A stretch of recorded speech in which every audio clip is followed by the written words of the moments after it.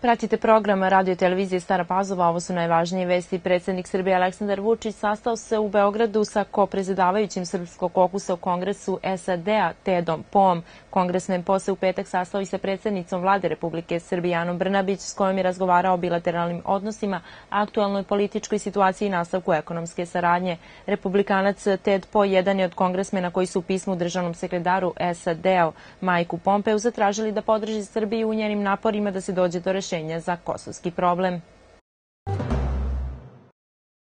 Commonwealth Dominika, osrpska država u Karibskom moru, osma je po redu zemlja koja ne priznaje Kosovo kao nezavisnu državu, izjavio je za Tanjug ministar spoljnih poslova Srbije Ivica Dačić, koji je naveo da je i dobio zvaničnu notu od Ministarstva spoljnih poslova ove države, gde se jasno i precizno kaže da je vlada Commonwealth Dominike prispitala svoju prethodnu odluku i suspendovala je. Situacija sa imovinom Srpske pravoslavne crkve na Kosovu izaziva ozbiljnu zabrinutost, saopštilo je Ministarstvo spoljnih poslova Rusije, dodajući da se nastavlja praksa uzurpacije ove imovine. Ministarstvo je kao poseban primjer navelo crku Svetog Jovana Krstitelja i Svete Paraskeve, koja se više ne nalaze u lokalnim katastarskim dokumentima u Peći kao vlasništvo Srpske pravoslavne crkve, objavljeno je na sajtu Ruskog ministarstva.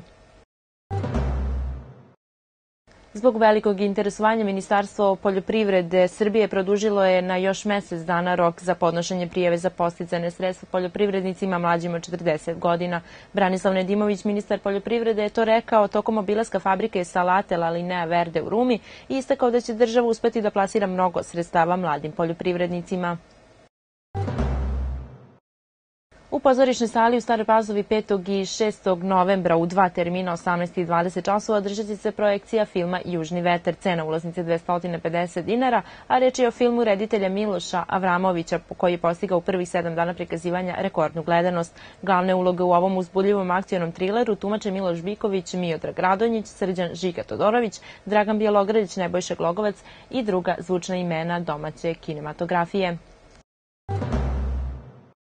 Pozorišna predstava tamo daleko premijerno je održana pred staropazovačkom publikom sinoć u pozorišnoj sali. Premijera pozorišne predstave tamo daleko po motivima drame Vladimira Konstantina Hurbana izvedena je pred staropazovačkom publikom nakon premijere u Sremskoj Mitrovici. Kada sam prvi put e, pročitala ovaj tekst, e, moram iskreno priznati da nisam bila entuzijastična puno i nisam videla sve ono što je režiser video. E, međutim, e, mislim da je e, Miroslav Benka stvarno izvuko iz ovog teksta najbolje. Predstava je rađena u saradnji sa Sremsko-Mitrovačkim i Slovačkim pozorištima, a ovac je nakon predstave najveće su priznanje.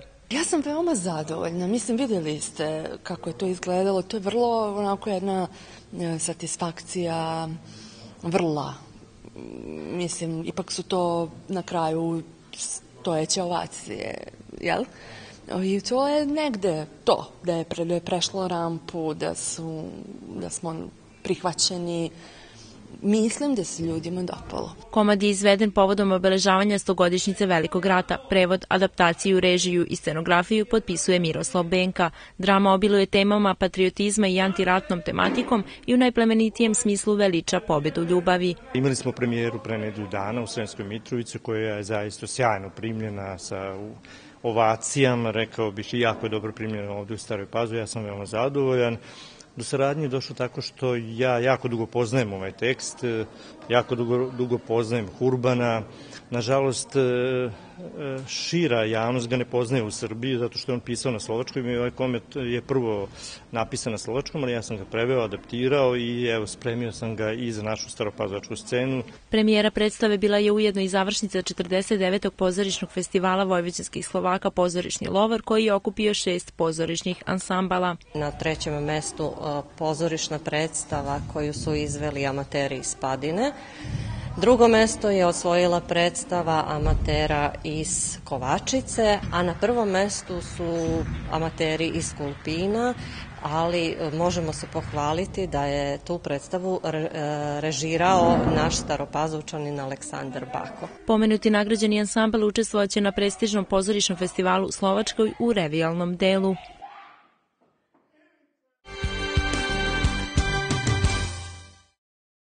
Odbojkašice jedinstva iz Stare Pazove večeras na svom terenu u 19 časova dočekaće ekipu Spartak iz Subotice u okviru Utakmice sedma kola Banka Poštanska štedionica Superlige u Srbiji. Zabranica Jove Cakovića kao drugoplasirane na tabeli dočekuje ekipu Spartaka koja nakon šest odigranih utakmica zauzima petu poziciju.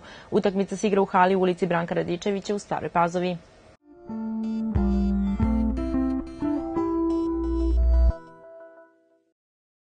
Vreme sutra malo i umereno oblačno, vetar slabiji umeren jugoistočni u Košarskom području, umeren jak na jugu Banata u Donjem Podunavlju sa udarima olujne jačine. Najniža temperatura od 7 do 13, najviša od 19 do 23 stepena. Pratili ste vesti radio televizije Stara Pazova. Hvala na pažnji.